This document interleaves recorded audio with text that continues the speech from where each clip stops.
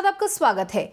भाजपा में जिला अध्यक्षों का ऐलान होने के बाद अब सभी की नज़रें उनकी टीम पर लगी हुई हैं।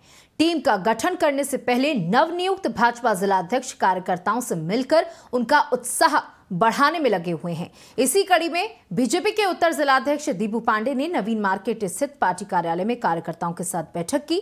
युवा मोर्चा और महिला मोर्चा कार्यकर्ताओं के साथ बैठक में उन्होंने पार्टी के कार्यक्रमों को और तेज गति से बढ़ाने को कहा। चुनाव की तैयारियों से लेकर मतदाता सूची, सर्वधन के कामों में भी कार्यकर्ताओं को नज़र बनाए रखने को कहा गया। बीजेपी उत्तर जिलाध्यक्ष ने कहा कि फ़िलहाल वे कार्यकर्ताओं से परिचय प्राप्त कर रहे हैं। चुनाव को लेकर पार्टी हमेशा तैयार है।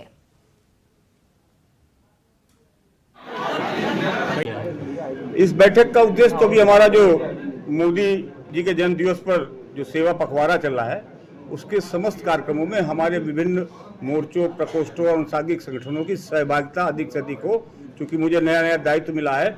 इन बैठकों के साथ हमें अपने के सम्मानित कार्यकर्ताओं का से परिचय भी हो रहा है और उनसे आह्वान कर रहे हैं कि हम लोग सब लोग कार्यक्रम में सम्मिलित हों। तो हैं? देखिए चुनाव की तैयारी उन दलों को करनी पड़ती है जो चुनाव के समय काम करते हैं। हम पूरे पाँच वर्ष काम करते हैं और हम केवल राजनीतिक क्षेत्र में काम नहीं करते। हम समाज में सेवा का कार्य भी करते हैं।